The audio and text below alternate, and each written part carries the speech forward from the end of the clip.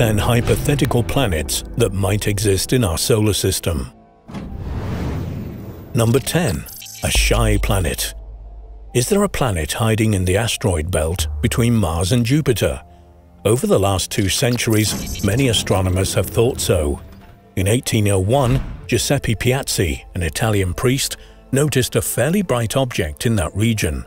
He named it Ceres after the Roman goddess of farming. The following year, German astronomer Heinrich Olbers discovered another object there, which he called Pallas, and in 1806 he added Vesta to the list, which by then also included Juno, discovered in 1804 by fellow German Carl Ludwig Harding. Olbers suggested that all of them were fragments of a planet that had crashed into another celestial body or had been torn apart by its proximity to Jupiter, this remained a popular premise for many years. However, today, this thesis has been disproved. They are simply very large asteroids, held with a million smaller ones in orbit between Mars and Jupiter. Together, they might have formed a planet had it not been for Jupiter's massive gravity that keeps them apart, overcoming their own gravitational attractions. Number 9. What happened to Planet 5? The late heavy bombardment when a huge number of asteroids smashed into Mercury, Venus, the Earth, Mars and our Moon occurred about 3.8 billion years ago. Where these asteroids came from, no one is quite sure. The most intriguing theory is that there was a planet simply called Planet 5 that orbited between Mars and the asteroid belt. This was proposed in 2002 by NASA scientists Jacques J. Lissauer and John Chambers. They suggest that Jupiter's gravitational pull caused Planet 5 to be unstable. It then crashed into the asteroid belt and flung thousands of them towards Mars and the inner planets. So, what happened to Planet 5? The scientists posed several possibilities. Either it careered into the Sun, or was flung out into space, and this was their most speculative idea, crashed into Mars, creating the Borealis Basin that covers 40% of Mars and also through fragments at the inner planets. Not every scientist agrees with Lissauer and Chambers. They think that Planet 5 never existed and that the asteroids that bombarded the solid planets were ones from the asteroid belt, disturbed by changes in the orbit of Jupiter and Saturn, or that Mars crashed into a large asteroid and the fragments were thrown towards the Sun. Number 8. Slippery Mercury the planets orbit the Sun in stretched circles known as ellipses, ovals in effect. Mercury is the nearest planet to the Sun. Sir Isaac Newton was worried. He realized through observation that Mercury's orbit was a little strange. It changed slightly with each revolution of the Sun. It just didn't fit with his brilliant equations. In 1859, Urbain Jean-Joseph Le Verrier, a famous French astronomer, proposed that there was a planet closer to the Sun whose gravitation was causing this anomaly. He named it Vulcan and said that, unfortunately, it was impossible to spot because it was so close to the Sun. For years, this explanation was accepted, particularly as several amateur astronomers claimed to have spotted the mysterious Vulcan. Einstein, in his general theory of relativity, showed that Vulcan wasn't necessary to explain Mercury's seemingly strange behavior. He theorized that mass causes warping of space-time, like a dimple in an elastic sheet. Because of this, as Mercury orbits, its ellipsis would slowly rotate round the Sun. This is called the precession of Mercury, and fully explains why gradually it moves from its expected position. All our solar system's planets do this too, but at such huge distances from the Sun, the effect of space-time is so incredibly tiny that their precessions are presently unobservable. Number 7. Mega-Earth the Oort cloud is an immense sphere of icy debris that surrounds the solar system and is up to 10 trillion miles away from the Sun.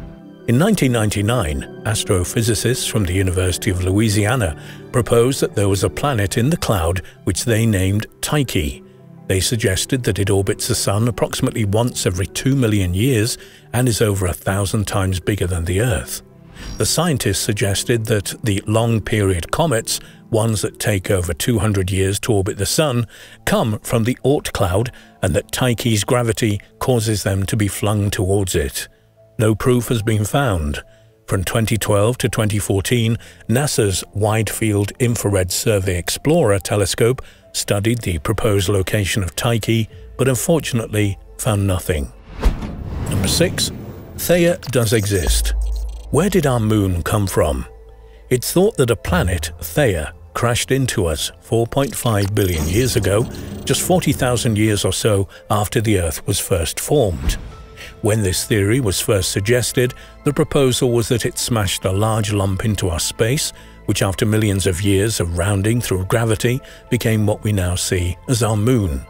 This viewpoint has been challenged following analysis of the moon rocks collected during the Apollo missions. It appears that both the Earth and the Moon are, by and large, made of similar material. The early Earth and Theia, in effect, mixed together and that, later, a fragment of Earth Theia broke off and became our Moon. Number 5. The Earth's distant twin. In the mysterious world of particle physics, it's thought that every particle has an antiparticle. So, for example, the antiparticle of the electron is the anti-electron, or positron. Nearly two and a half thousand years ago, a Greek philosopher called Philolaus proposed the idea that the planet Earth had a counter-Earth. He said that it couldn't be seen from here as it was always mirrored on the opposite side of the Sun, and as we rotated round the Sun, it did the same. It's worth noting that a heliocentric model of our solar system was around long before Copernicus proposed it. Unfortunately, this is a hypothetical planet that simply couldn't have existed. The effects of gravity, particularly from Mercury and Venus, would have distorted the orbit of counter-Earth and over time moved it from its counter position. Eventually, supposing that it was also about 93 million miles away from the Sun, the two planets, Earth and counter-Earth, would have met. Either they would have crashed into each other, or their gravities would have pushed them into new orbits. Number 4. The end is nigh. Well, according to Zecharia Sitchin, a famous author who proposed theories on human origins involving ancient astronauts.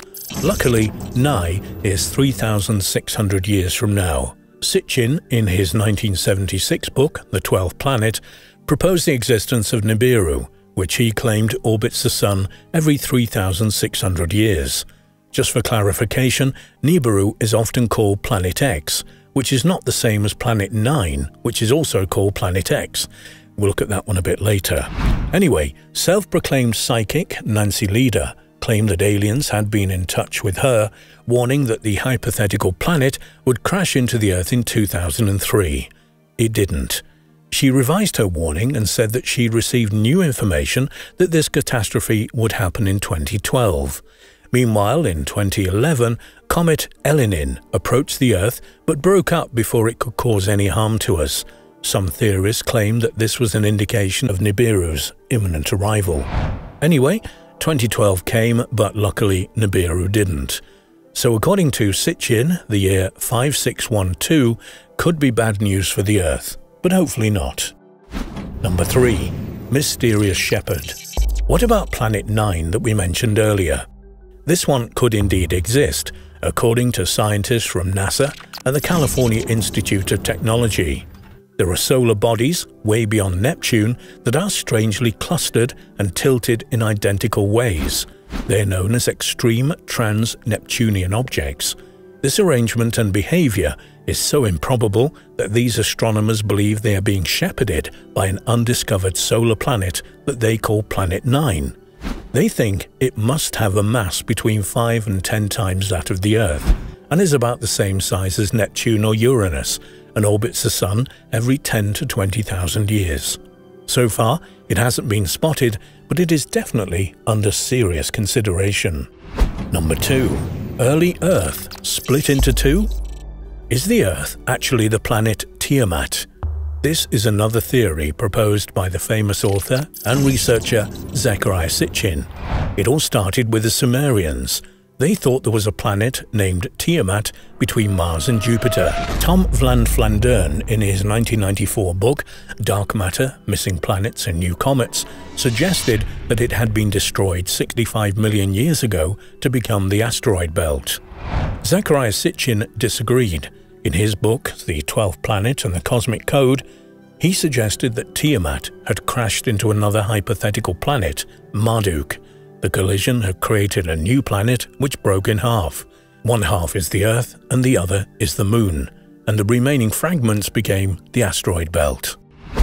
Number 1. Dr. Seuss's Planet Was there an icy, giant planet in our solar system that can explain its present arrangement?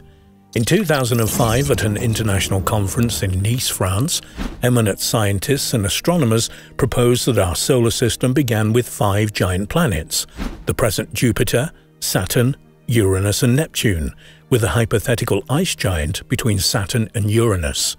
The now missing ice giant's name has not been agreed upon. Suggestions include Hades, Liber, Mephitis, and playfully Thing 1 from Dr. Seuss's Cat in the Hat book for children.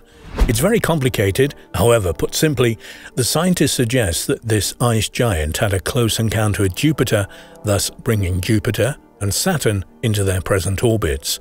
It may have triggered the late heavy bombardment of the inner planets, Mercury, Venus, the Earth and Mars, and stabilized their orbits. So, where is it now? It suggested that when it had a near miss with Jupiter, it was cast into outer space. Astronomers are searching for it, but, as yet, with no success.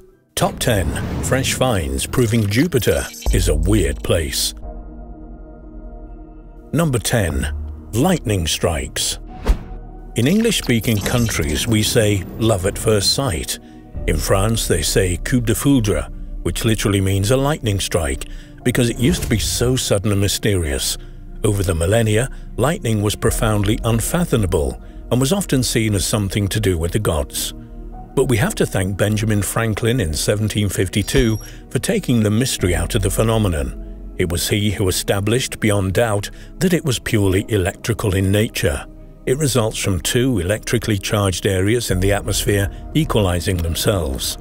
Other planets are known or are suspected to have lightning, and strikes on Jupiter are the best understood. At first, Jupiter's lightning was thought to be very different from here on Earth. For some reason, the strikes in the gas giant only appeared to release low-frequency radio waves, whereas on Earth they range from low megahertz to very high gigahertz frequencies. However, in 2018, the Juno spacecraft solved that particular conundrum. Jupiter's lightning also emitted radio waves whose frequencies were low to high. It had purely been an error caused by previous craft's inadequate sensing equipment. However, there does remain one mystery. Lightning on the Earth is almost unknown at the poles, and its greatest concentration is in the equatorial regions. For some undetermined reason, it's the other way around on Jupiter. But then, Jupiter is virtually all gas, so that may have something to do with it. Number 9. Not So Jolly When Gustav Holst wrote his seven-movement orchestral suite The Planets in 1916, he nicknamed Jupiter as the bringer of jollity. There's nothing particularly jolly about the actual planet with its constant, violent storms though, However, until recently, it was thought to be composing music too. In 2018, the Juno spacecraft flew by Jupiter, breaching the gas giant's magnetic field. Suddenly, on NASA's speakers, there was a huge rush of roars and screeching. Sadly, Jupiter wasn't composing its own music. It was an entry phenomenon known as bow shock, rather similar to the sonic booms here when aircraft break the sound barrier, but this time with a spacecraft. The shock lasted two hours as the craft zipped towards the planet at 150,000 miles per hour. Number 8. A swell place to be Jupiter's mass is 300 times that of the Earth's, but the Goliath wasn't always so Goliathan. The formation of the solar system is more or less understood. The primordial Sun was originally orbited by a huge dust-filled cloud. Some parts were more dense than others and attracted more dust to them. These eventually coalesced into the planets as we know them now. In those early millennia, Jupiter was originally about 20 times Earth's mass, a fraction of its present size. Then, it stopped swelling. Why was that? It's thought that massive protoplanets, no longer with us, smashed into Jupiter. The force was so great that, rather than adding much mass to the planet, they injected energy as those invaders disintegrated. This slowed Jupiter's growth. Eventually, as the bombardments reduced in intensity, Jupiter started swelling again to its present form where it contains two and a half times more mass than the entirety of all the other planets put together. Having said that, the Sun is still a thousand times more massive than its gassy offspring. 7. Juno. What those stripes are. No stars and stripes, but lots of swirls and stripes. Jupiter is astoundingly beautiful, albeit at a safe distance. Until 2018, no one knew the depth of these colourful bands. Were they just on the surface, or did they plunge way down? The Juno spacecraft, which orbited the planet every 53 days, answered this question. Amongst many other things, it measured gravitation. It tracked the bands and noticed that they had a greater gravity than the surrounding non-banded areas. Scientists built up a 3D image to form a gravity map of the planet. They found that the stripes descended to a depth of nearly 2,000 miles. The gravity maps may, following further analysis, give some clues as to one absolute mystery. Why is it that, below the flows, Jupiter's fluid interior behaved like a solid? Number 6. Going the wrong way Sometimes, when you point a powerful telescope into the sky, you don't find what you're looking for, but find something else that's just as fascinating.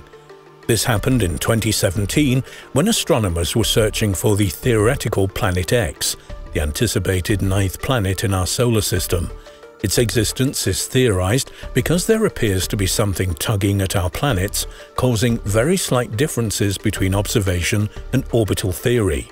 Planet X is theorized to be in the direction of Jupiter. Someone noticed something unexpected.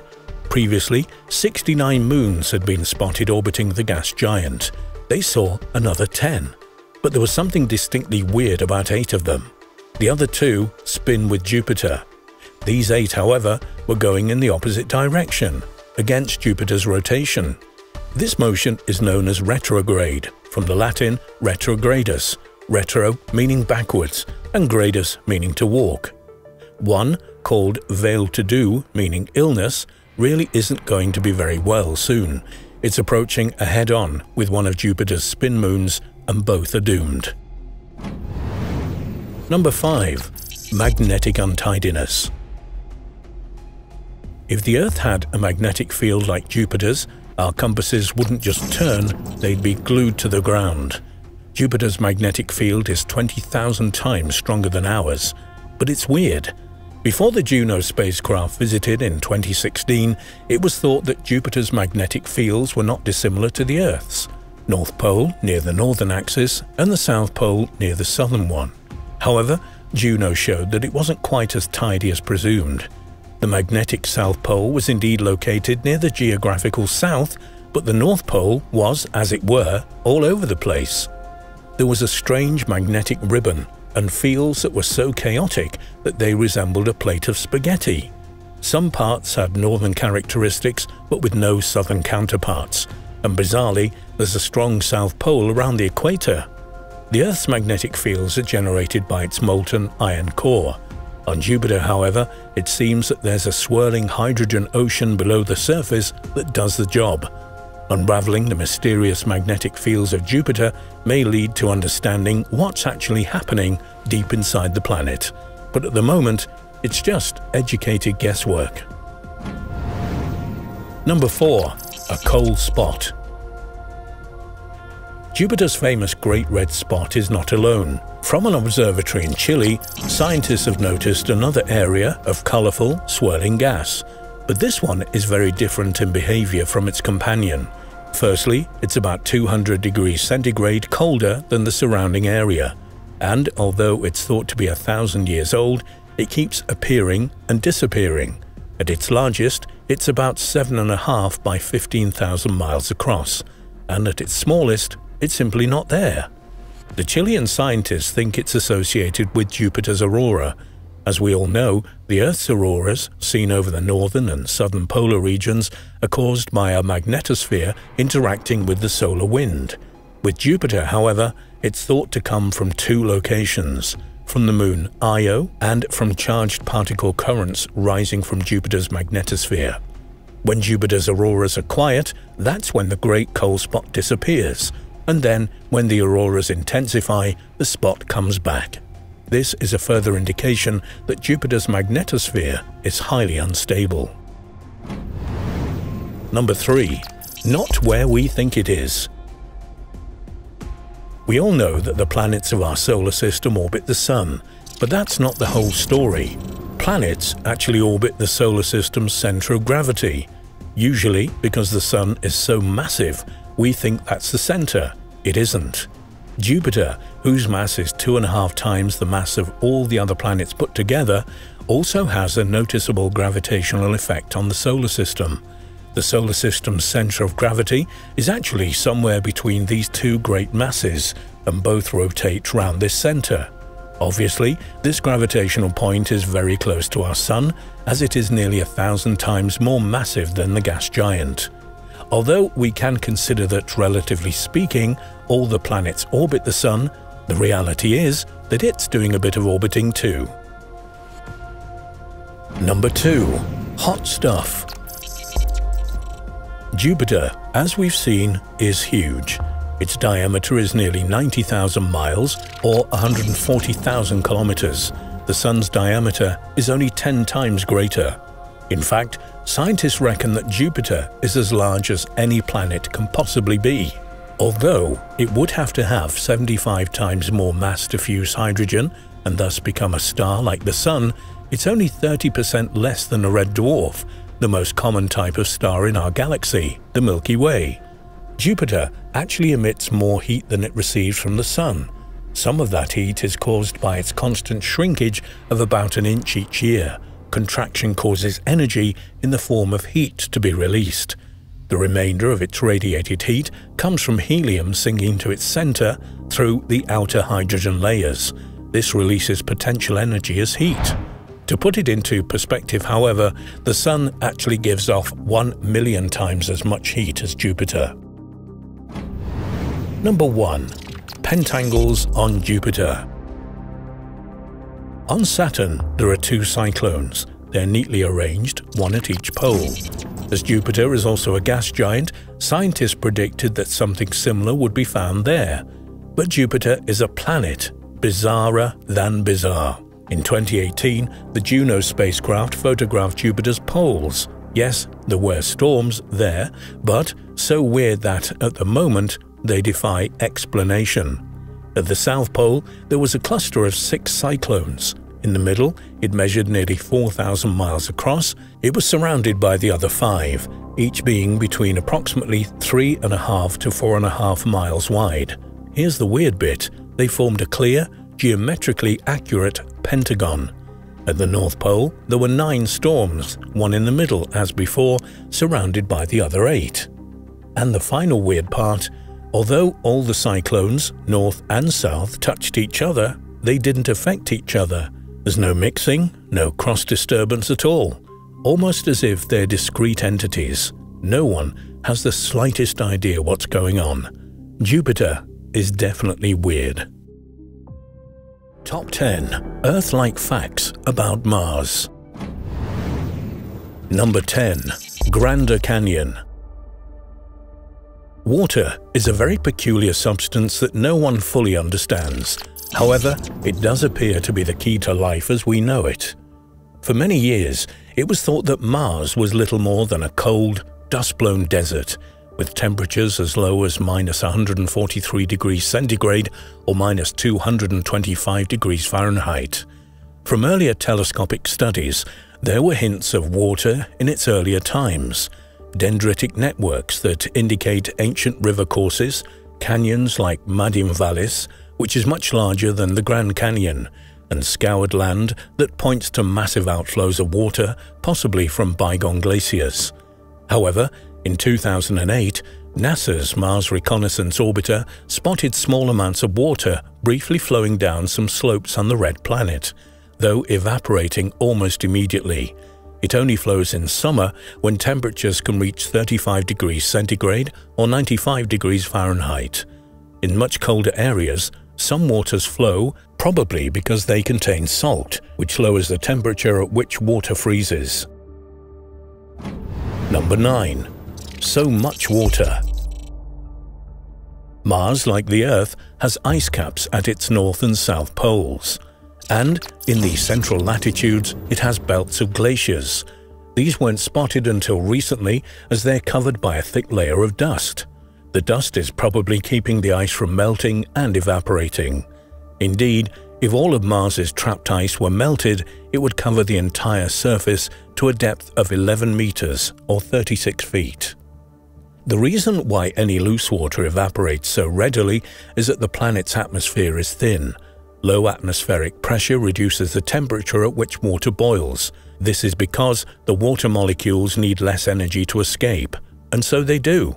And in Mars's case, which has an atmospheric pressure less than 1% of ours, the evaporation is almost instantaneous. Number 8. The Four Seasons Mars, like the Earth, has four seasons as it rotates. The main difference is the duration of the seasons. Although a Martian day is similar to ours, it's about 24 hours 40 minutes, it takes nearly twice as long to go around the Sun, 687 Earth days. In the north, spring lasts for seven of our months, summer, six months, autumn or fall is just over five months, and winter is slightly more than four of our months. There's a significant difference between the temperatures in the south and the north. In the Martian summer, the North's maximum temperature is minus 20 degrees centigrade or minus 4 degrees Fahrenheit, whilst in the south it can reach about 35 degrees centigrade or 95 degrees Fahrenheit. This explains the tempestuous dust storms driven by these temperature differences. Number 7. Aurora Martis Anyone who has seen the aurora lights in the high northern or southern latitudes of our planet cannot help but be astounded by their wondrous beauty. The auroras on Earth are caused by charged particles, mostly electrons and protons, emitted by the Sun and interreacting with the Earth's magnetic field. The resulting ionization and excitation of our atmosphere emits the light that we see. Mars also has auroras. Unlike the Earth, Mars does not have a global magnetic field. It has numerous umbrella-shaped fields, mostly in the southern hemisphere, which are thought to be remnants of its now extinct global magnetism. In 2015, NASA also detected a very slight global aurora in its Mars atmosphere. Mars has an upper atmosphere of hydrogen, and it's thought that the solar wind is reacting with this. If we were on Mars, however, we wouldn't be able to see it. The light is entirely ultraviolet. Number 6. Earth Days, Mars Days As we've already seen, Mars and the Earth have similar day lengths. Day lengths vary throughout the entire solar system. For example, Jupiter's day lasts about 10 hours, whereas a day on Venus lasts nearly 117 Earth days. So why did Mars and the Earth end up with similar day lengths? Nothing mysterious, just coincidence. Planets form from dust clouds that are realized during the creation of stars.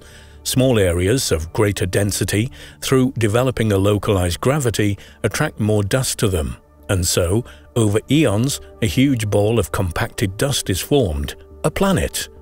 At the beginning, these protoplanets are constantly bombarded with the remaining dust and rocks surrounding them. These interfere with any spin the globe may have. Eventually, the early planet, through gravity, clears its environs of troublesome neighbors, and whatever speed it was spinning remains more or less the same. Mars and Earth will continue with their similar day lengths unless something substantial crashes into them, and if that happens, neither we nor any bug-eyed Martians will be around to reset our clocks. Number 5. Magnets for Life our solar system's planets fall into two categories. Moving out from the Sun, Mercury, Venus, the Earth and Mars are solid. Beyond the asteroid belt between Mars and Jupiter, we have Jupiter, Saturn, Uranus and Neptune, which are mostly made up of toxic gases with, at the very most, comparatively tiny solid or liquid cores. As far as is known, life only exists on the Earth.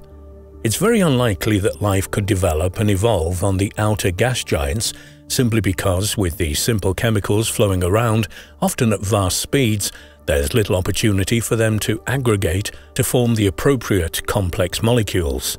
Mercury and Venus are probably lifeless too. Both are way too hot. Mars, however, is an open question. Could Mars be terraformed? The big problem here is that it has no global magnetosphere to stop the Sun's charged particles stripping it of any atmosphere and allowing water to exist as liquid on its surface. Scientists suggest that we need to place a magnetic generator between Mars and the Sun to deflect the solar wind. If this were done, atmospheric pressure on Mars could be increased and allow the ice in the polar regions to melt. This released water could then be split to release oxygen. At the moment, however, this is more science fiction than science fact. Number 4. Mount Everest Plus We're all aware of the variety and sometimes astonishing beauty of the Earth's natural landscape, the mountains, the valleys, the canyons, and so much more. Mars also has areas of stunning landscape. One such example is the volcanic mountain Olympus Mons, which is about three times the height of Mount Everest. It lies in the vast upland region known as Tharsis. Tharsis is also home to astonishing lava falls, like waterfalls but of molten rock. They pour from a 20-mile diameter crater in breathtaking, beautiful flows. Number 3. Proof of Life One of the great drivers for exploring Mars is the possibility that it either has life there or did so in the past. Discovery of life on another planet would be a paradigm shift in our understanding of the universe. One of the Martian rovers has found organic molecules in the rocks of Gale Crater. Here, there was a lake some 3.5 billion years ago. As life appears to have started on Earth nearly 4 billion years ago, this is a hopeful sign. All known living things contain four organic molecules carbohydrates, lipids or fats, proteins, and nucleic acids. Although these have been found in Gale Crater, it doesn't prove the existence of life there, now, or in the past. Some chemical reactions that have nothing to do with life can also produce these molecules. However, something else has been found on Mars that could add to this suspicion. It's methane gas.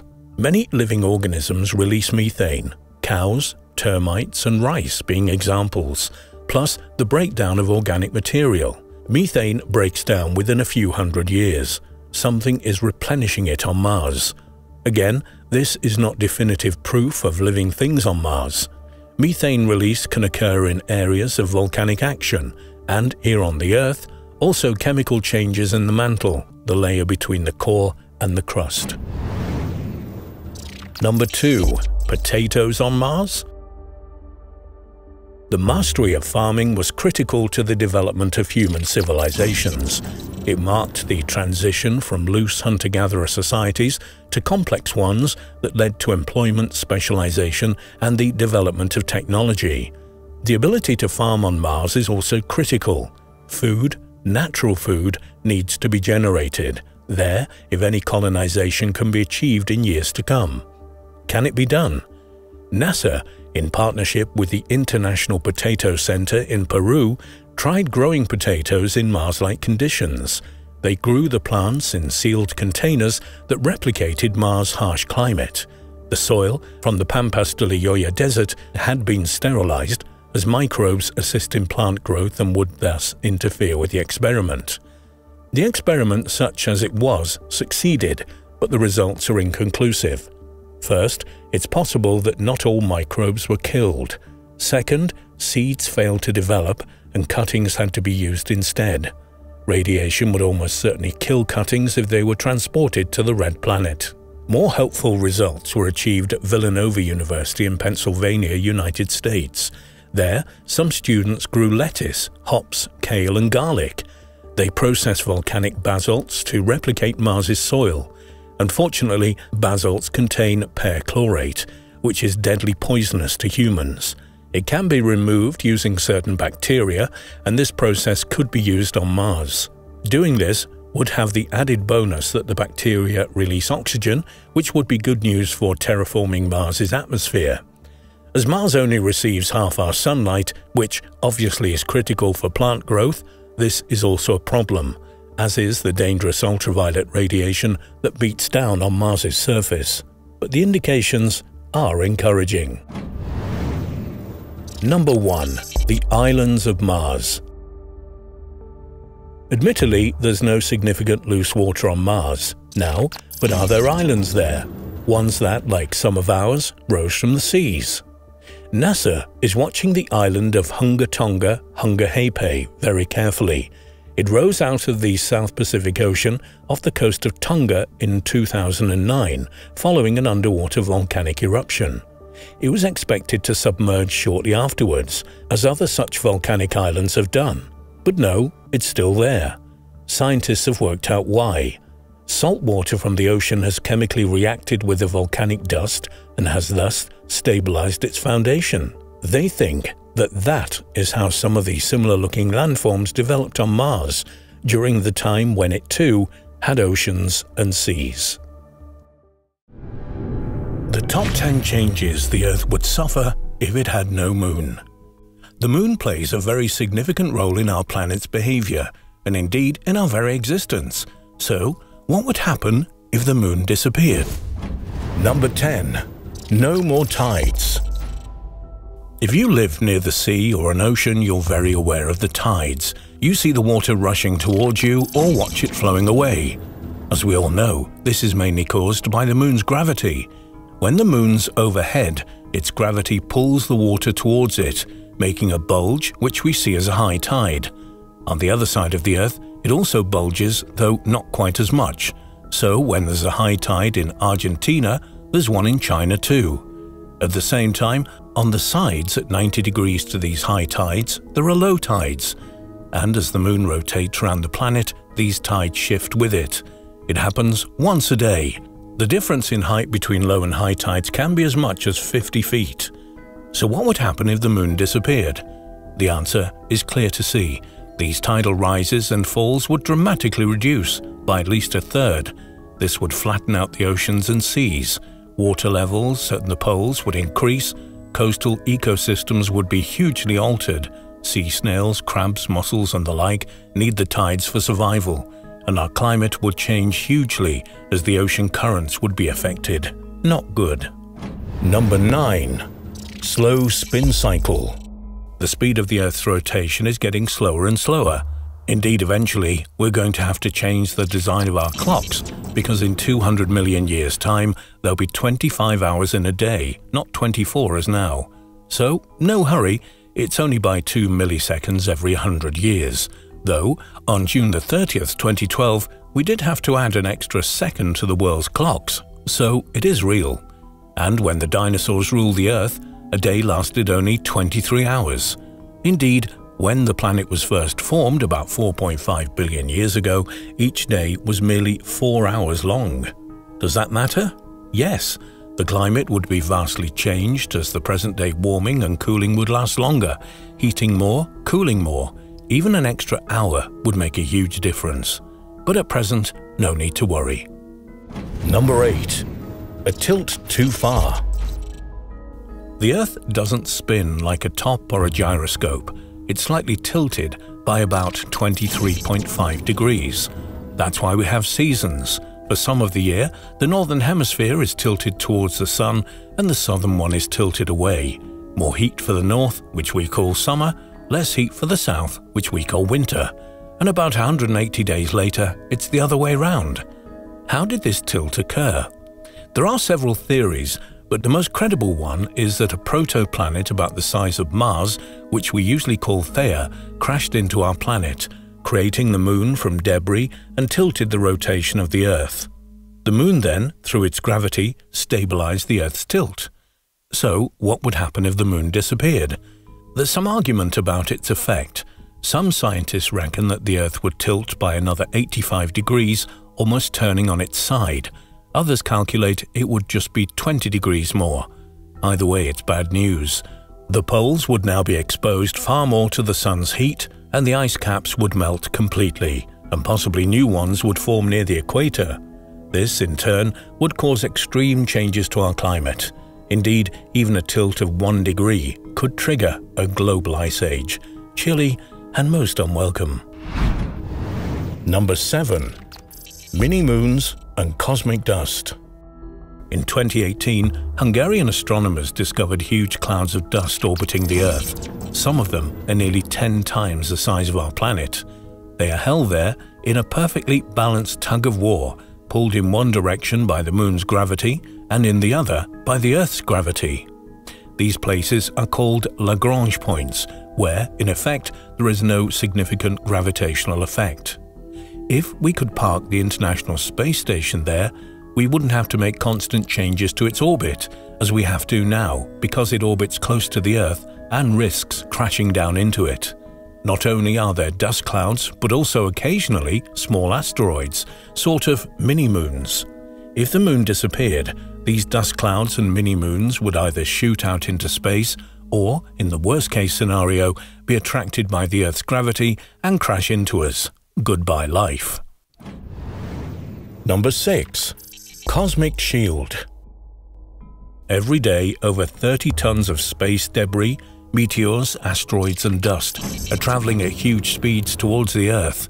Luckily, most burn up in our atmosphere, but without the Moon, the numbers would be vastly more, and Earth would be dangerous and intolerable. The Moon is really quite large, it's nearly a quarter the size of the Earth, and exerts a significant gravitational effect and diverts most of the space debris away from us. It's fortunate that we have our own cosmic shield to protect us. Number 5. Goodbye Mountains We're familiar with the Moon's gravitational effect on our oceans and sea, but it also creates tides of the very ground upon which we stand. As the Moon rotates around us, it can raise the height of the Earth's crust by up to 12 inches each day. Many minor earthquakes are caused by this. More than that, they'd probably be no awe-inspiring mountains. The Moon was probably formed by the impact of a protoplanet Theia crashing into the Earth and smashing a huge amount of its crust into space. If that crust had remained on the Earth, it would have been far thicker and more stable. Sounds better, doesn't it? Well, no. Because of the relative thinness and unevenness of the crust, it moves round the planet in the form of huge plates, known as tectonic plates. Where these separate, trenches, such as the vast ones in the oceans, open up, and where they bash into each other, mountains are pushed up. Bash is probably not quite the word. They actually move quite slowly, thank goodness. For example, the North American plate moves at about an inch a year, doesn't sound much, but as a result, there are about 150 quakes a week in California. Number 4. Problems with wind. How would you feel if you constantly face winds of over 100 miles per hour? Planets spin, and their atmospheres, if they have them, spin with them. And the faster the planets spin, the faster the atmosphere moves. For example, Jupiter rotates in about 10 hours, its winds, in other words, disturbances in its atmosphere, travel at about 100 to 200 miles per hour. Saturn, on the other hand, spins slightly faster and has winds of over 1,000 miles per hour. Without the pull of the Moon, and it's the drag effect, the Earth would rotate faster, and we could expect the entire planet to suffer hurricanes, tornadoes and winds that would make life almost unbearable. Number 3. All that glitters. We wear it on our fingers. It's in our smartphones, our computers, GPS units, and virtually all electronic equipment. It's even in our mouths as gold crowns. So many uses. But its relative abundance is down to a collision eons ago between the Earth and the protoplanet Theia. It is thought that, about 4.5 billion years ago, a Mars-sized rock called Theia hit our planet. The surfaces of each planet were cast into space to form the Moon. However, Theia's core remained, rich in valuable, heavy elements like gold, and the core would have generally sunk to the Earth's core and fused with it. Over millennia, through volcanic and seismic activity, some of these elements were lifted to near the surface where they can be mined and thus enrich our cultures and our technologies. Number 2. Life as we know it We humans might only exist because the Earth has a moon. Life, as we know, started in the oceans. These early bodies of water contained chemicals which over time reacted together to form nucleic acids, which are the building blocks of life. In part, the gravitational effect of the Moon increased the concentration of these chemicals, bringing them closer together. Without the Moon's effect, the concentrations would have been much lower, and thus reduced the chance of interaction between the chemicals. Also, the Moon is largely responsible for the tides. These tides and currents have the effect of mixing the chemicals in the water, critical for promoting the necessary reactions. And finally, even if simple life had developed, it's unlikely that complex forms would have evolved. Why? Because the Moon, through its gravitational effect, reduces the number of asteroids and meteors that crash and have crashed into the Earth. The constant bombardment would have made the environment too hostile for life to develop as we know it. By the way, that's why astronomers looking for potential life-bearing planets consider finding ones with substantial moons to be almost essential massages and magnets. The Earth is a giant magnet, and for our sakes, thank goodness it is. All the time, the Sun emits charged particles that blast into our atmosphere, and unless there was something to protect it, they would completely strip it away. This is what happened to Mars. The red planet was not dissimilar to Earth once, with oceans and quite possibly simple life. However, Something strange happened to Mars about 4.2 billion years ago. It stopped being a magnet. Why is this important? It's magnetism that shields the planet from the worst of the Sun's solar wind. It literally repels it. In the center of the Earth, there's a molten core of iron. As it flows, it creates the magnetic effect with which we are familiar, through compasses and the like. Why does the core flow? It's largely thanks to the Moon. The Moon's gravity massages the Earth and keeps the planet's core molten. Without the Moon, the core would cease to flow and no longer create the magnetism. Lose the Moon, and we end up like Mars. Not a cheerful thought. Top 10 fascinating facts about the International Space Station. Number 10. Trampolines in space. Could the US use trampolines to send astronauts into space? This was the suggestion of Dmitry Rogozin, Russia's deputy prime minister. How did this bizarre proposal come about? The ISS is owned jointly by the United States, Russia, Canada, Japan and several European countries. Each country owns part of the station, with the Europeans collectively owning a section. However, the ISS is actually divided into two main parts, one under US control and the other under Russia control. Unfortunately, politics reared its ugly head in 2014. The US imposed sanctions on Russia and broke off relations with the Russian equivalent of NASA, Roscosmos. This wouldn't have been a headache if the US hadn't scrapped its space shuttles and therefore is unable to get its astronauts to or from the ISS by itself. Instead, America relies solely on Russian launches, and if the politics deteriorate, the US astronauts on the ISS could find themselves stranded, and Russia could take full control of the station. Number 9. The Falling Space Station Though the ISS astronauts float around their home, it's not entirely right to call that zero gravity. The ISS orbits the Earth at a height of between 200 and 250 miles. At that distance to the Earth, its gravitational effect is still 90% of what it's like on the ground. That's easily enough to cause the ISS to fall to Earth. So what's happening to keep it there? The ISS is falling. However, because of its speed and trajectory, it's actually falling along the curve of the Earth, missing it second by second. In effect, it's falling around the Earth. This is, of course, the same thing that's happening to the Moon. The astronauts, therefore, are in free fall with the ISS, which makes them seem weightless. 8. Rapid Days the astronauts on the International Space Station can see this clearly, though here on Earth we only experience it as either dawn or dusk. Because the ISS orbits the Earth every 90 minutes, they experience both sunrise and sunset 16 times a day. This means that an astronaut on the ISS experiences 5,840 sunrises and sunsets a year, whereas we just get a measly 365. Number 7. Toilet Wars. In the early days, astronauts and cosmonauts on the International Space Station shared everything food, equipment, and facilities, including toilets. Around 2003, Russia decided to charge other nations for use of the Russian equipment and facilities. In retaliation, the other nations began billing Russia for the same. By 2005, Russia put in bills for transporting American astronauts to the ISS. And in this strange and utterly puerile game of ping pong, the US banned the Russians from using anything that belonged to the US, including going for a pee. Number 6. Up in Flames. Washing machines in space? No, not a sequel to the hilarious 1980 movie Airplane, but a total impossibility. The weight, the water, these add up to a no-go. So what do the astronauts and cosmonauts do about their dirty laundry? At five to $10,000 per transit between the ISS and the Earth, they can't send it back to mum.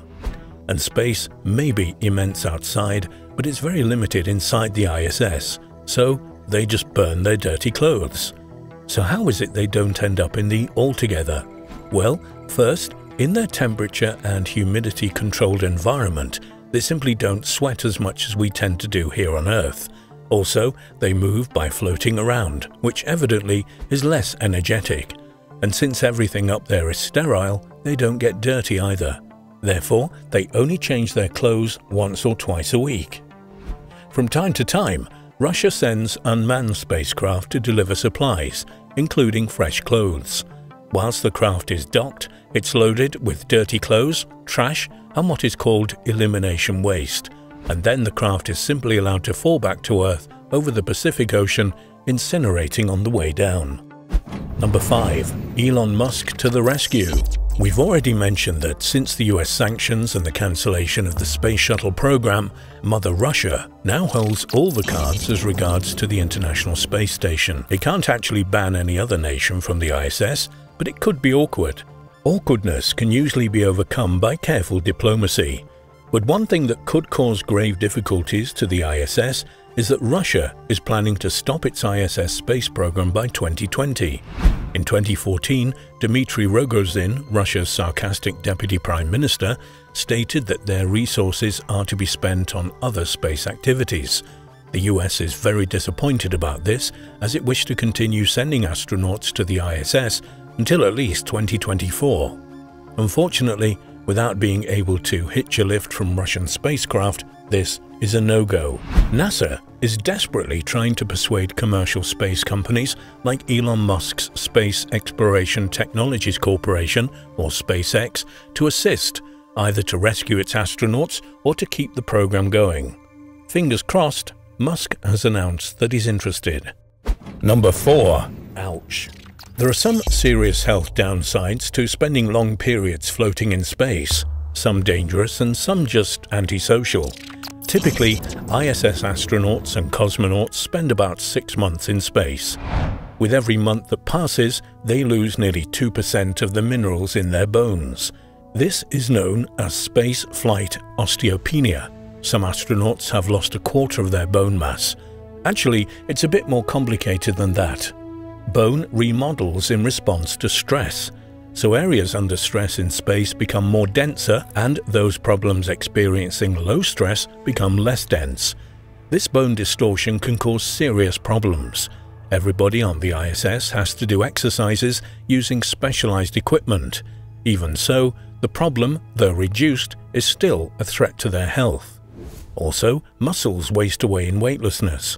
Although this can be minimized by exercise and back on Earth can be reversed, muscle atrophy is linked to cancer, heart failure and liver failure.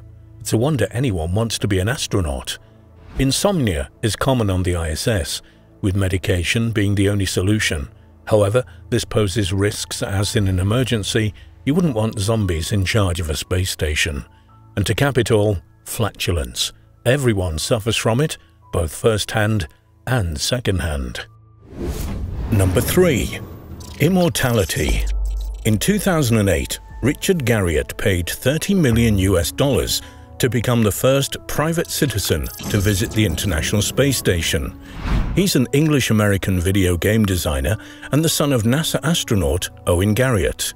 With him, he brought his Immortality Drive, a microchip time capsule containing the digitized DNA sequences of many significant friends, including Stephen Hawking and, of course, himself. His idea was that, should the Earth be destroyed, the immortality drive could be used by, um, aliens perhaps, to recreate humanity. It also contains an archive of humanity's greatest achievements.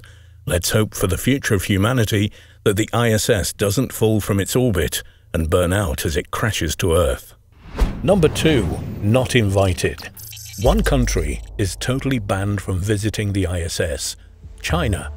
In 2011, the US Congress forbade any collaboration between America and Chinese space programs.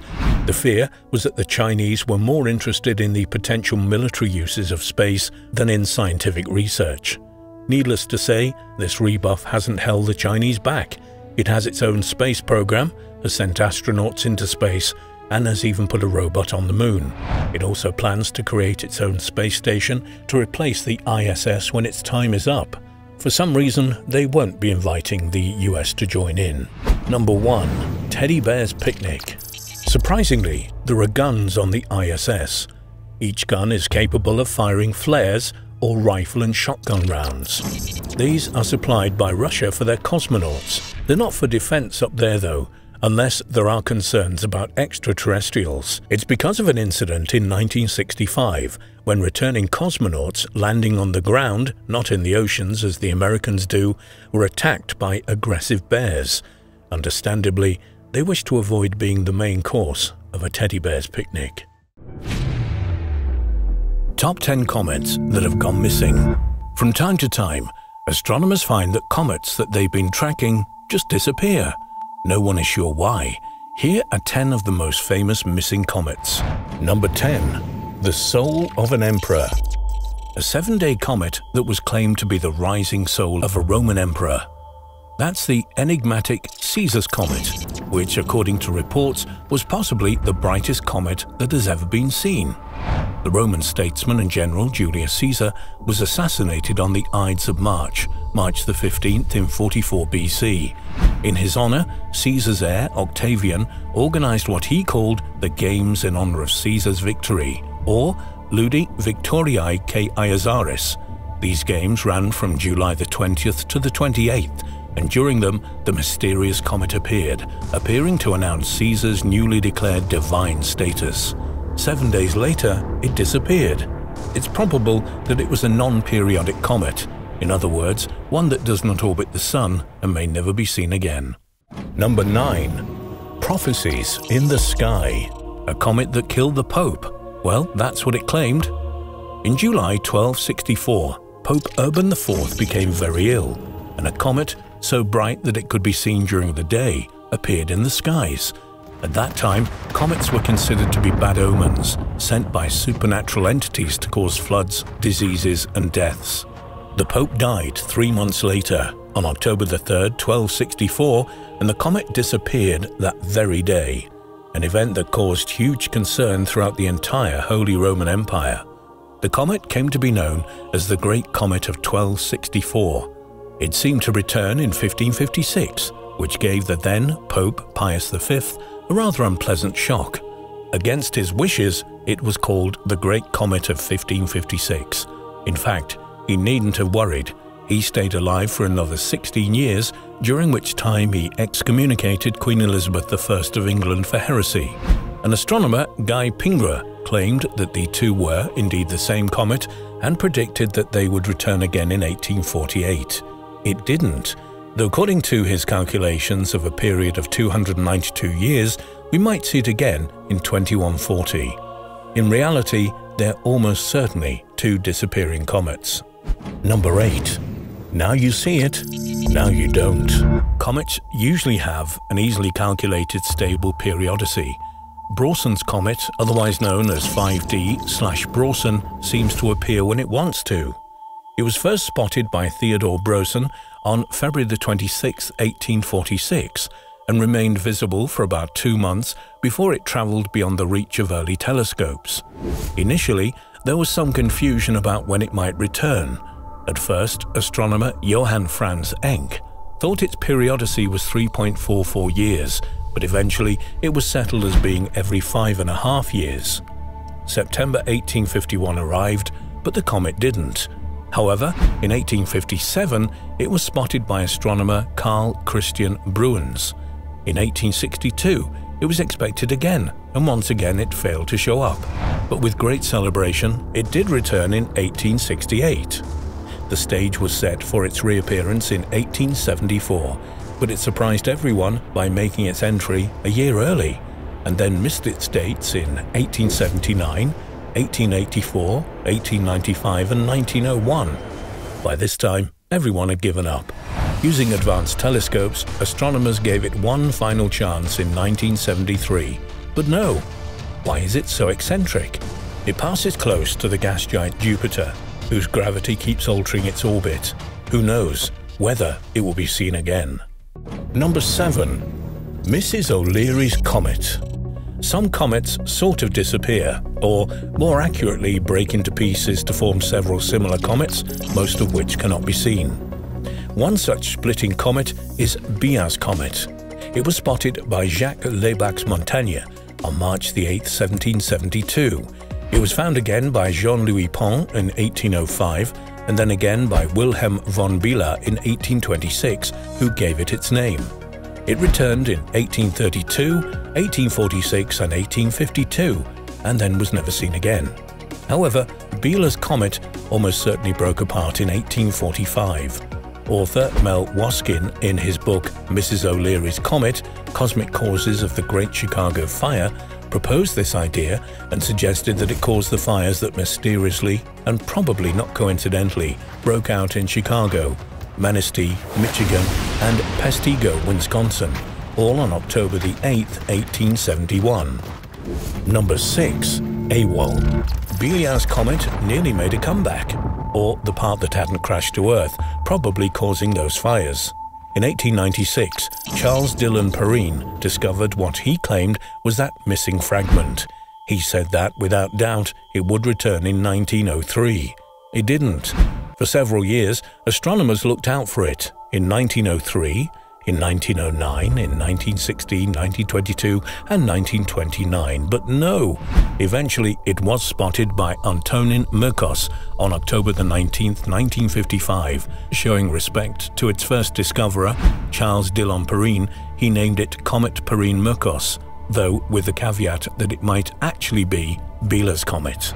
American astronomer Leland E. Cunningham who was one of the pioneers of electronic calculation during World War II, said that it wasn't a brand new comet, nor a Biela's comet fragment, but confirmed that this was one spotted originally by Perrine Mrkos. Its eccentricity was caused by its orbital proximity to Jupiter. Comet Perrine-Mrkos continued to appear erratically until 1975 when it was declared permanently missing. Number 5. The Power of Jupiter as we have seen, the giant gas Jupiter is often responsible for causing erratic orbits of comets. This is little wonder, as it's the largest planet in our solar system with a mass two and a half times the total mass of all the other planets. Its gravitational force is immense, and anything that passes nearby either plunges into it or has its orbital trajectory significantly altered. It was first spotted in 1770 by French astronomer Charles Messier, it was famous for creating a catalogue of 110 nebulae and star clusters, the so-called Messier objects. Its orbit was calculated by 18th century astronomer Anders Johann Lexell, who gave it its name, Comet Lexell. He measured its closest distance to the Earth at approximately 1.5 million miles, the closest known comet. Lexell said that the comet would reappear every five and a half years. Unfortunately, it never returned again. French astronomer Urbain Leverrier, who was famous for predicting the existence of Neptune using only mathematics, worked out that Jupiter had affected the comet's orbit. Either the gas giant had increased its orbit, and thereby the length of time it would take to return, or had cast it away from our solar system. Number 4. Comet Watching Parties Halley's Comet, certainly the most famous one of all, was once upstaged by another one which came to be called the Great Daylight Comet of 1910. It was January 1910, and at the time of great enthusiasm about all things scientific, the public's attention was turned towards the sky. Halley's Comet was due. It came as a big surprise that another one suddenly appeared. It was so bright that everyone could see it clearly, even during the day. It was at least five times brighter than the planet Venus. The first people to spot it on January the 12th were some miners in South Africa. However, in the land of entrepreneurs, the United States of America, comet watching parties were arranged and the public could watch it through telescopes at a price. The Great Daylight Comet of 1910 stayed visible for about a month, but has never been seen again. Number 3. Fatal Attraction Not all comets are snappy like Halley's Comet. One such is 83D-Russell, whose previous name was no more evocative, 83P-Russell. It made a one-month appearance on June 16, 1979, and was discovered by Kenneth S. Russell, Highly respected astronomer M.P. Candy calculated its orbit as 7.43 years. However, Daniel W. E. Green of the Department of Earth and Planetary Scientists at Harvard University disagreed and said it would return in 6.13 years. He was right, and it appeared in April 1985. Unfortunately, afterwards it succumbed to the influence of Jupiter and has never been seen again. Although astronomers keenly looked out for it in 1991, 1998 and 2006, they accepted that 83D slash Russell had probably been destroyed by straying too close to the gas giant. Number 2. Millions of miles for nothing.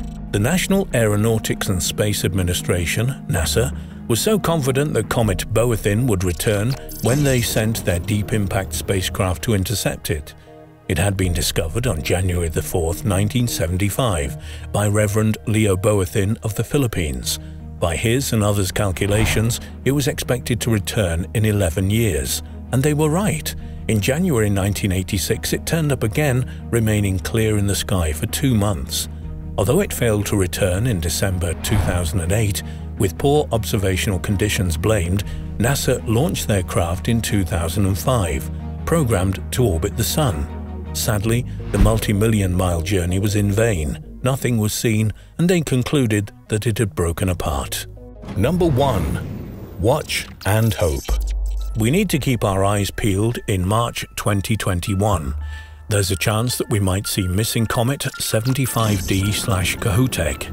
It was spotted in February 1975 by Czech astronomer Lubos Kohoutek, who is actually more famous for the similarly named Comet Kohoutek.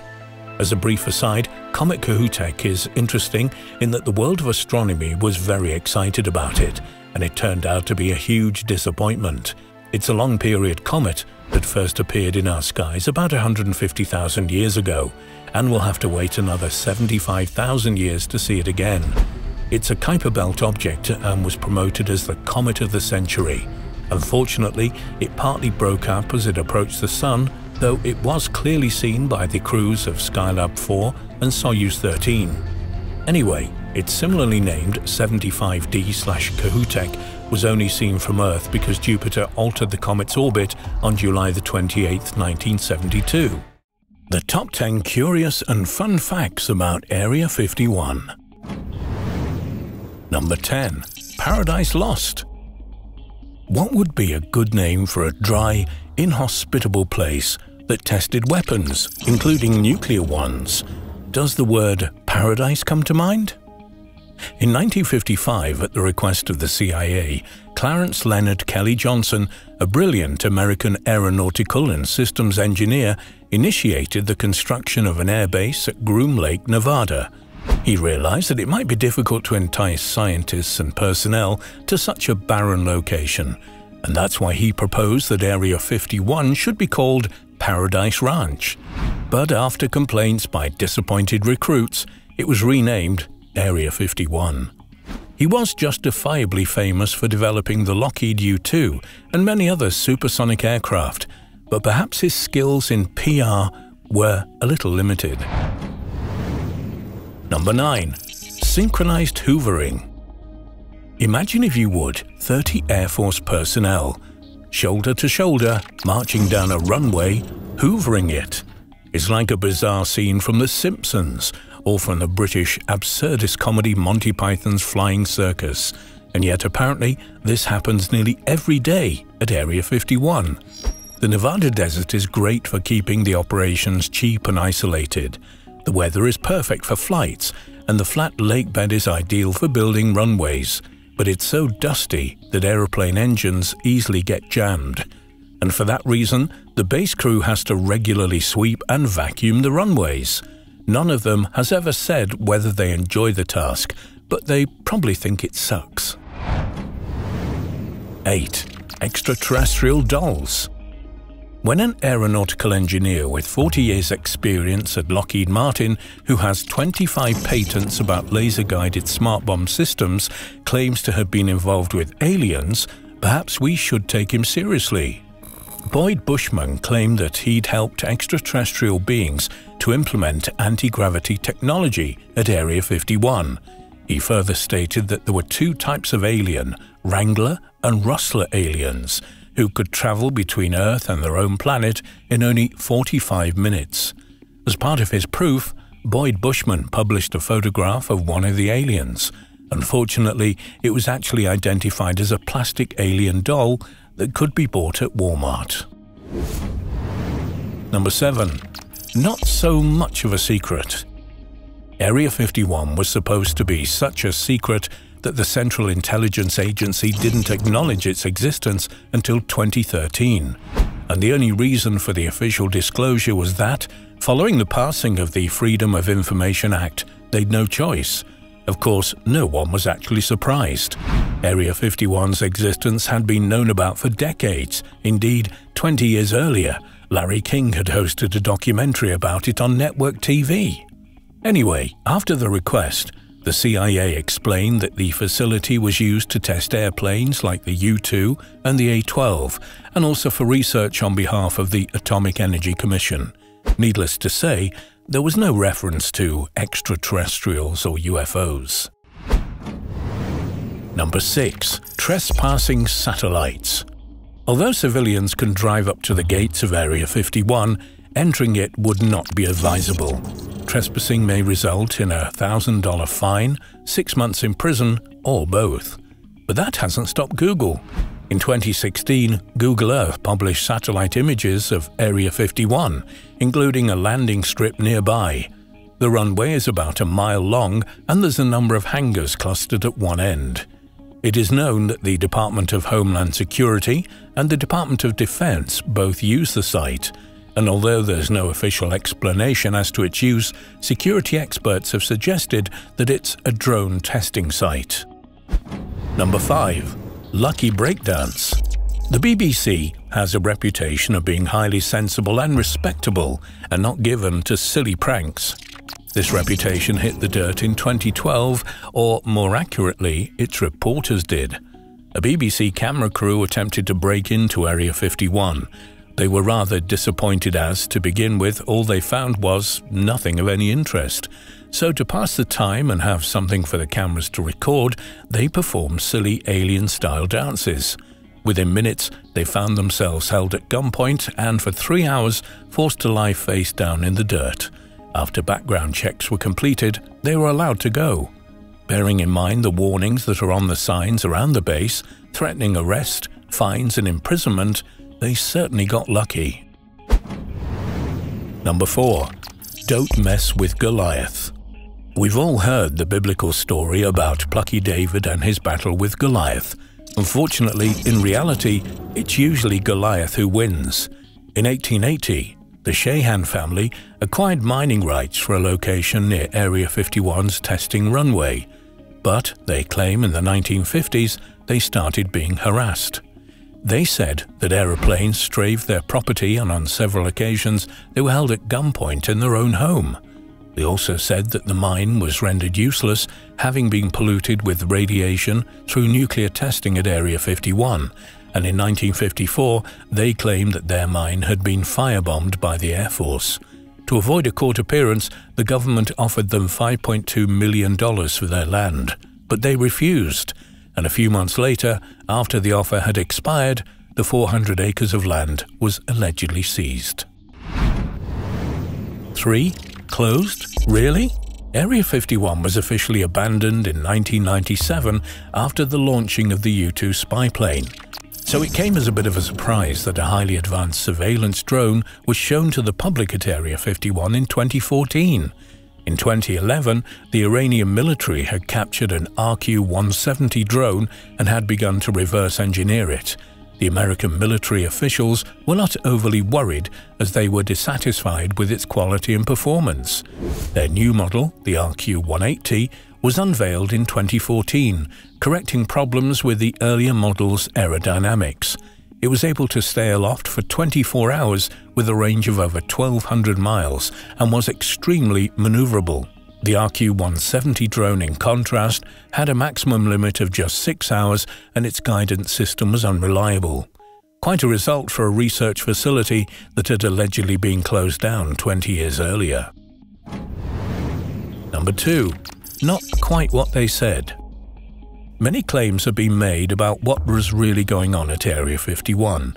The most popular ones were promoted in Annie Jacobsen's book, Area 51 An Uncensored History, during her research, she'd interviewed a number of retired personnel who had worked at the base.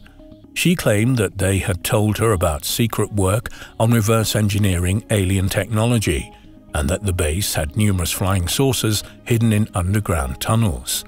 Unfortunately, many of the interviewees subsequently said that she'd misrepresented them and their views.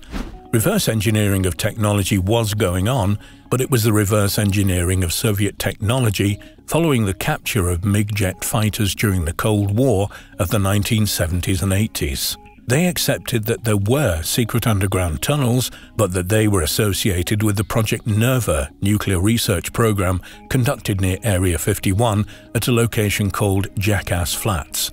And the flying saucers? The indignant interviewees said that there was a vehicle dubbed the Ox Cart, which was a circular, fuel-carrying pod that admittedly did resemble a stereotypical flying saucer. Number 1. A road like no other. Nevada State Route 375 doesn't sound particularly enticing as a tourist spot, but extraterrestrial highway, that sounds like fun. In 1996, the state, to coincide with the release of the movie Independence Day, renamed Nevada State Route 375 to the Extraterrestrial Highway because it passes by Area 51. There are quirky rest stops all along the 98-mile stretch of road. At the intersection of the Extraterrestrial Highway and US 93 is the E.T. Fresh Jerky restaurant, Inside, there's a mural that depicts an alien-style Wild West scene complete with alien cowboys. Further down the road, there's an Alien Research Center gift shop with its enormous alien statue standing guard. And at the town called Rachel, with its 40 inhabitants, there's a quirky and eccentric cafe called the Little A'Le'Inn, full of kitsch and memorabilia, and locals eager to share their stories of alien experiences. Like him or loathe him, Elon Musk is certainly one of the most interesting characters around. A visionary, a fraudster, only time will tell. We've all heard of his ambitious, possibly crazy plans to colonize Mars, and he certainly launched the project with a memorable prank when he used his own Midnight Cherry Tesla Roadster as a dummy payload for the Falcon Heavy test flight in February 2018. The mission was successful and the car is now in an elliptical, heliocentric orbit that crosses the orbit of Mars. When he announced his plan a year earlier, Musk said that because the launch was very risky, it would carry, quote, the silliest thing we can imagine.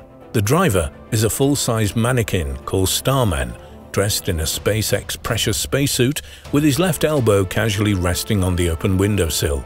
The sound system plays David Bowie's song Space Oddity on a continuous loop. A copy of Douglas Adams' novel The Hitchhiker's Guide to the Galaxy is in the glove box. And for the aficionados of this great book, there's a towel on the back seat, and on the dashboard, a sign that reads, Don't Panic, in large friendly letters. The launch was live streamed from an onboard camera, but contrary to some reports, it was never meant to achieve a Mars orbit. This would have been impossible given that it wasn't equipped with propellant or manoeuvring and communications capabilities. Western Australia police joined in the fun. They tweeted a photo of them pointing a radar gun aimed at the Tesla as it passed over Australia. It's not known if Musk has paid the speeding ticket. The only downside of this great jape is that there's a 6% chance that the Roadster will collide with the Earth, albeit in about 3 million years' time. Starman will then become the most famous crash test dummy ever. Following this eccentric first test using the Falcon Heavy rocket, Musk's company, SpaceX, announced details of their plans to colonize Mars by using a more advanced vehicle and using it, SpaceX plans to send an unpiloted cargo mission to Mars in 2022. It will install solar power, equipment for mining, and life support infrastructure. It will also identify possible threats to potential colonization. Musk calls his spacecraft the Big Falcon Rocket, or BFR. It is a fully reusable vehicle with the capability of launching 150 tons into Earth orbit, more than any other rocket. Doing this will be the first step to its potential use in long-duration spaceflight, including as a cargo ship to Mars. Its propulsion system is revolutionary, using an engine which uses methane as its fuel. As a side note, the F in BFR originally stood not for Falcon, but for another rather Anglo-Saxon word. We'll leave it for you to work that one out. But once on Mars, what about the return journey? Elon Musk has figured that out as well. The main purpose of his cryogenic Methalox-fueled propulsion system is that the power source could be manufactured on Mars. In 2018, SpaceX announced its plans to include a propellant plant on its initial cargo missions. Rather than transporting hydrogen from Earth to make methane and oxygen, as others, including NASA, have proposed, the company intends to mine the frozen water that's abundant on and just below the surface of the red planet.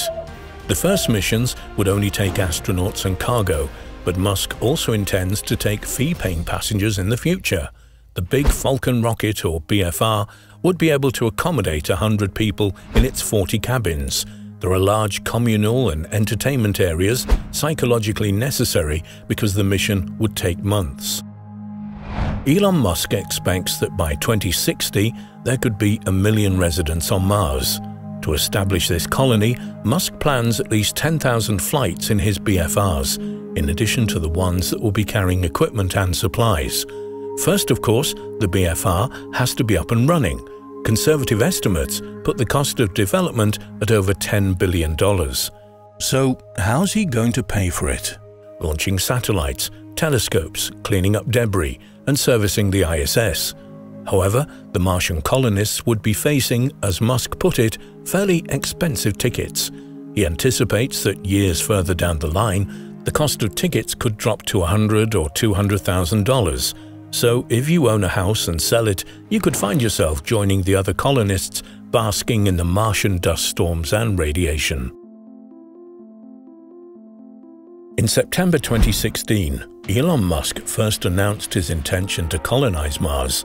He wanted humanity to be an interplanetary species, largely because of the threats of nuclear war, pandemics, ecological degradation, and climate change. The biggest problem facing him wasn't the technology, he considered that to be inevitable, but was financing his project. In his presentation at the International Astronautical Congress in Adelaide, Australia, he gave hints as to his business plan. True to form, his independent spirit, he was going to finance it himself. He would make SpaceX's entire existing fleet of vehicles obsolete, the Falcon Heavy, the Falcon 9 and the Dragon, and focus exclusively on the BFR. He would cannibalize the retired fleet and use much of it in the BFR's development and construction.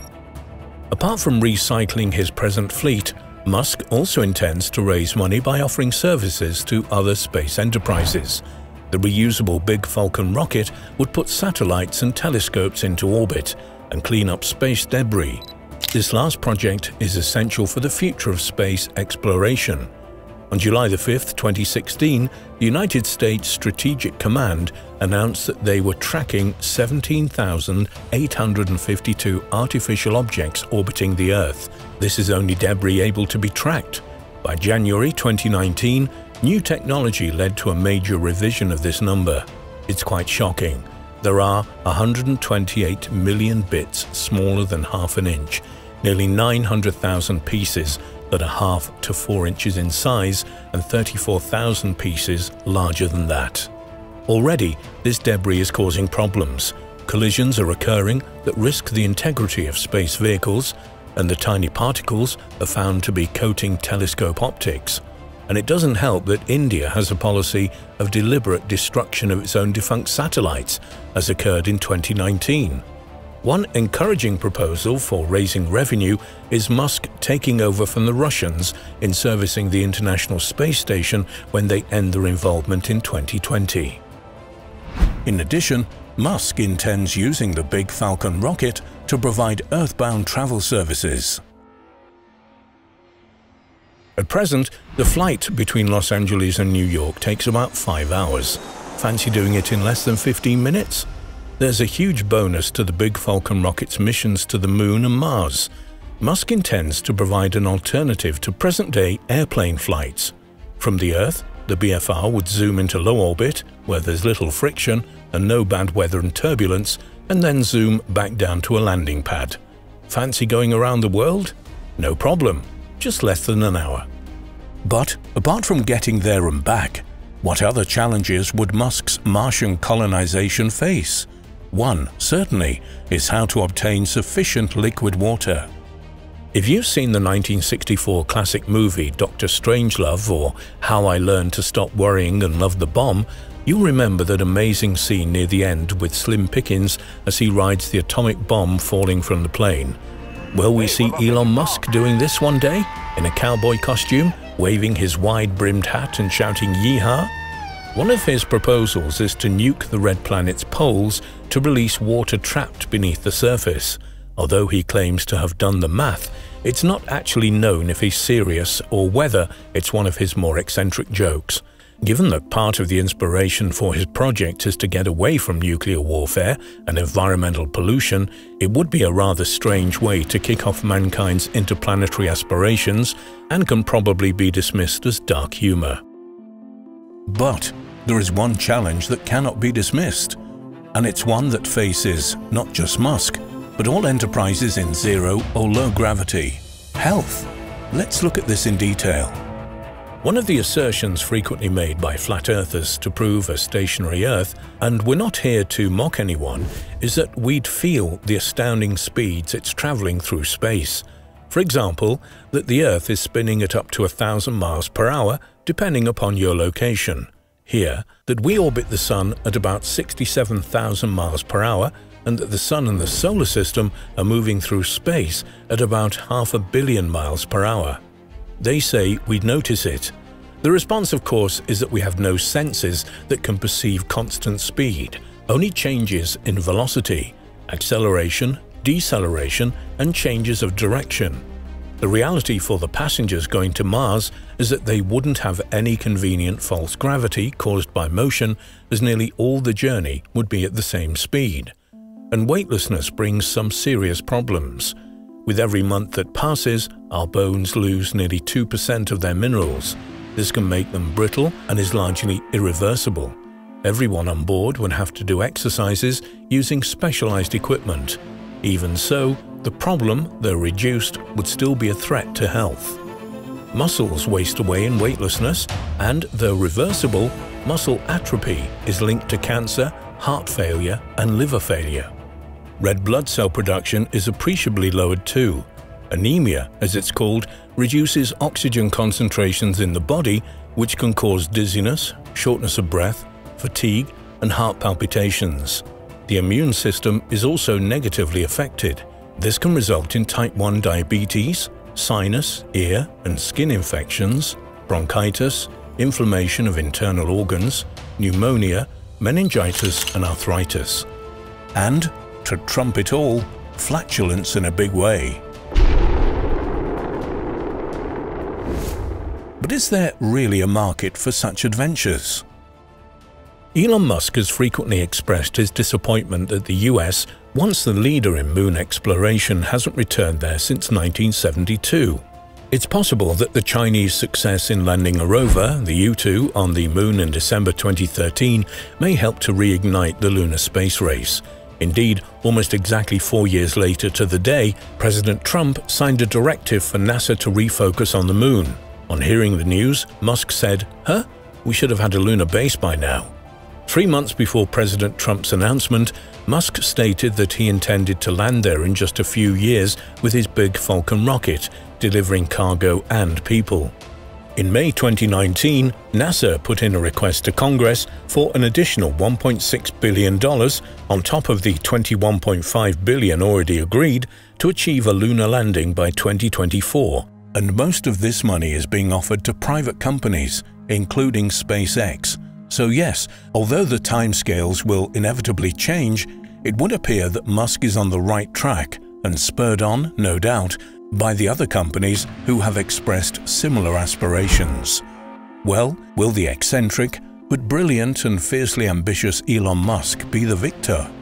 In a reversal of H.G. Wells' classic, The War of the Worlds, are we set to invade Mars? The race is on.